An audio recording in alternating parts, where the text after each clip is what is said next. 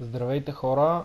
В това видео ще ви покажа как да се справите с първите три боса в Sekiro и се надявам да ви бъде от полза, ако имате някакви затруднения в двубоите срещу тях.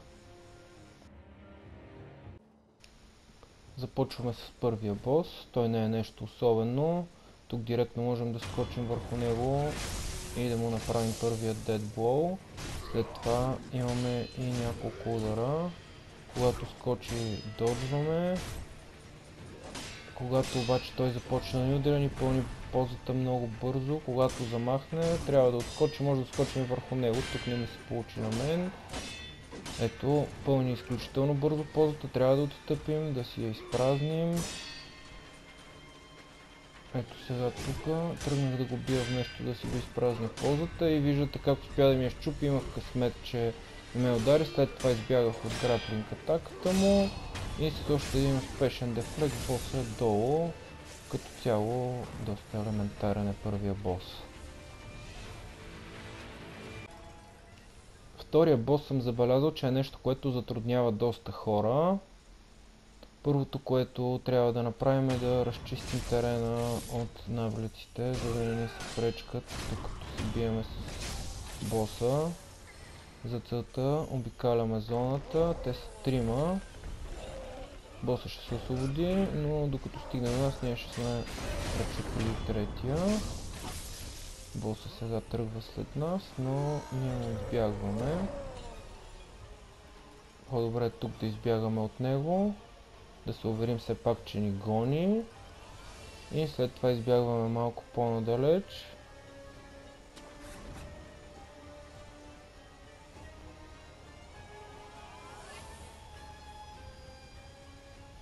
Това искахме да направим. Когато изчезне хелд бара на бос, това означава, че той е забравил за нас и тръгва да се връща към първоначалната си позиция, а ние най-нагло можем да го издебнем в гръб и да му забием един free dead blow.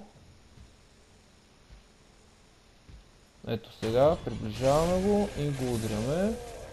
Сега започва битката. За размерите си боса не е никак бавен и има ето тези граплинг атаки. Това е причината да не стоя през цялото време в него, а след като му ударя два удара да се мърдам. Тези атаки с които скача и удря не са трудни за избягване. Най-много трябва да се пазите от двете граплинг атаки, които видяхме в началото. Ето тук, за малко да ни удари, но имахме късмет. Така въртим се около него в кръг и общо взето за много време е паднал.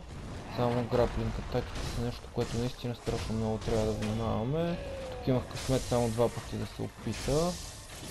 И боса е готов.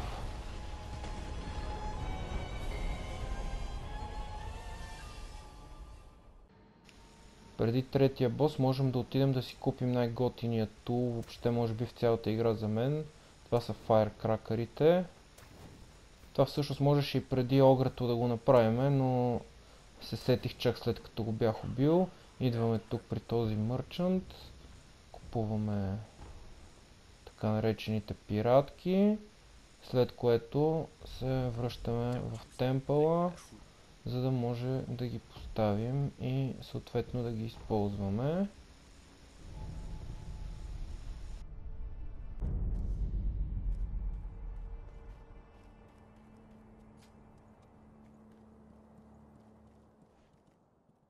I can you know that no. It I think give it the cut it with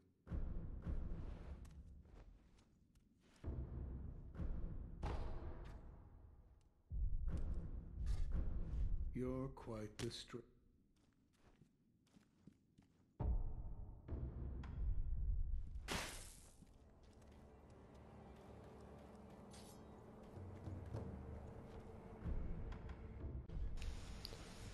След като сме убили огрето, продължаваме до следващия айдъл. Взели сме пиратките и сега разчистваме терена от навлиците преди да се изправим срещу третия бос. За мен лично може би най-трудният от тримата. той е голям и също време изключително бърз, касява дистанцията много бързо до нас, удря изключително силно, с два удара ни чупи позата. Ето по този начин се отърваваме от навлеците, които са около него, без въобще да ни усетят.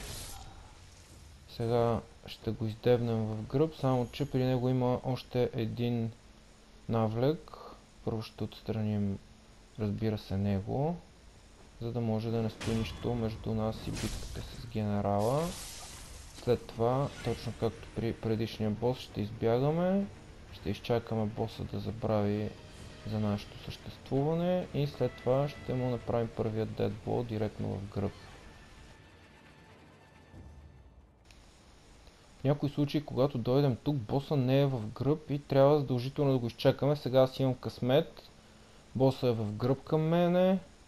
Приближавам го и му правя първият дедбол. След това имам и няколко удара на разположение. След като му ударя първите два, мога да го зашеметя и с малко прах. След това той се опитва да ме отблъсне още веднъж прах и след това вече... Да, тук го изпуснах с фаркракерите. Трябва да имате предвид, че боса чупи позата изключително бързо при тази скачаща атака. Ако успеете да реагирате на време и да се дръпнете е по-добрия вариант. Ето сега започваме с фаеркракерите. Два удара фаеркракери, два удара фаеркракери, два удара фаеркракери. В момента в който успеем да влезем в този ритъм, боса няма особени шансове срещу нас. Имайте предвид обаче, че е изключително бърз и наказва всяка грешка.